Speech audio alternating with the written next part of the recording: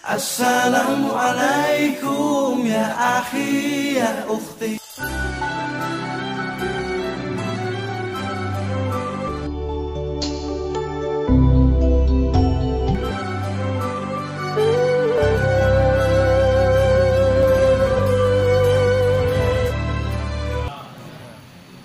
Ibu kalau susah-susah itu mengadulah di mihrab masjid.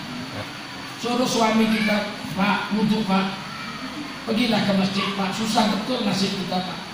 Apalagi covid ini, kita jual apem tak, orang makan apem. Itu ya anak beranak makan apem pun. Woi dalam abang, baik ke masjid, sholat dua rakaat, menangis Pak di depan mihrab ini. Ini makanya dibuat mihrab ini. Kenapa masjid buat mihrab? Untuk tempat menangis. Datang kita ke masjid waktu orang tak ada, nah, kalau orang ada kan nangis gila bilang orang. Stres nih orang. Waktu orang tak ada lah.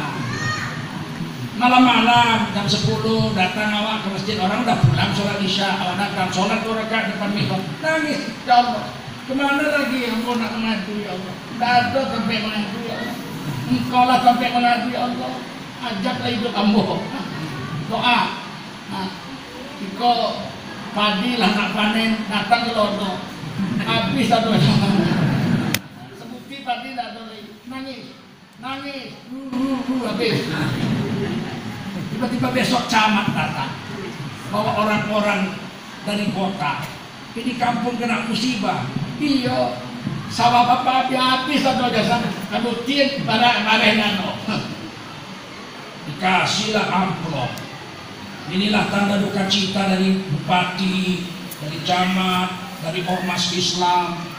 Kumpul malam dia buka terkumpul 3 juta. Sedangkan kalaupun panen 400 ribu yang cepat besok datang lagi kemari dia doa ya Allah tahun depan mudah-mudahan gelodo lagi.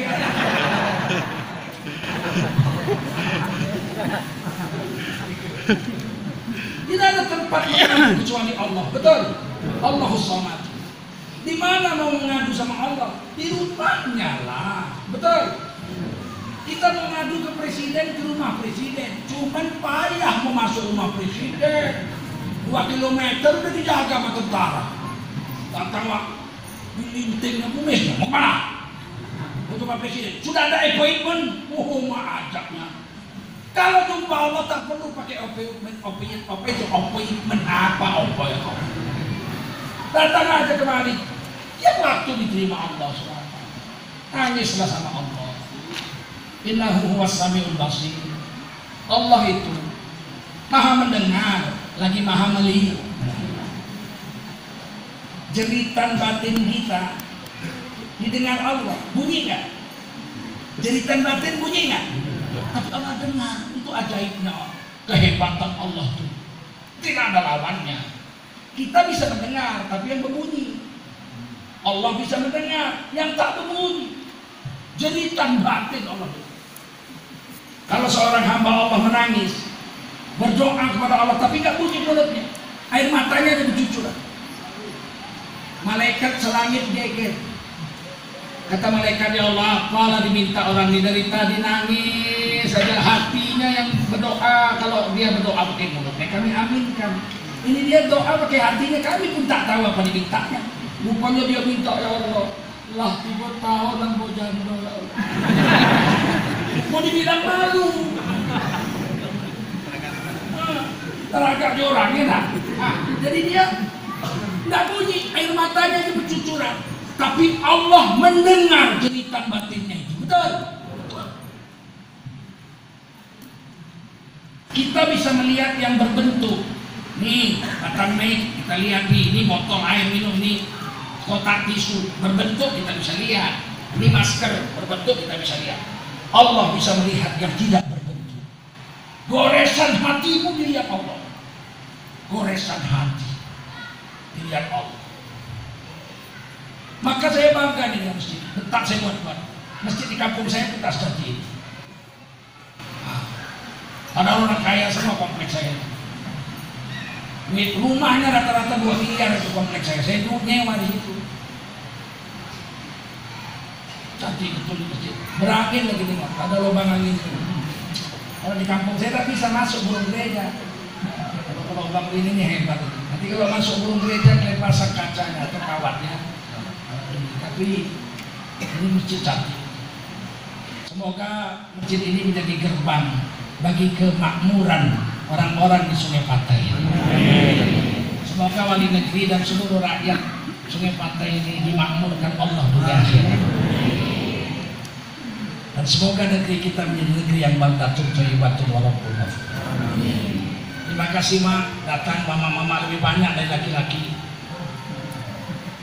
Dorong bapak-bapak di masjid ya mak ya. Kalau tidak datang bapak masjid menangis mak. Muda baik ke menangis. Ini ilmu dari Sri Lanka. Saya ke Sri Lanka, orang Islam di Sri Lanka itu cuma 10 persen. Kalau sudah azan, saya ke masjid pernah saya ke masjid azan tak ada orang, cuma tiga orang aja. Menunggu komat, hampir setengah jam baru komat. Begitu komat, orang yang ke masjid sampai ke halaman tak muat. Cuma 10 persen orang Sri Lanka yang Islam. Begitu juga duhur, asar, maghrib, isya, subuh. Penuh orang sampai halaman di luar-luar masjid.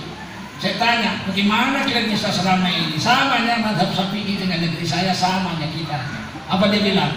Kalau kami tidak ke masjid, anak gadis kami dan istri kami menangis-nangis. Ya, bapak tak ada berpergi masjid. Bapak tak ada berpergi. Malu gak kami? Boleh juga dipakai itu di segi pantai. Ah. Kalau suami kamu ke masjid nangis ibu rame-rame sama anak-anak masjid nangis-nangis. Biar ke masjid semuanya satu kampung.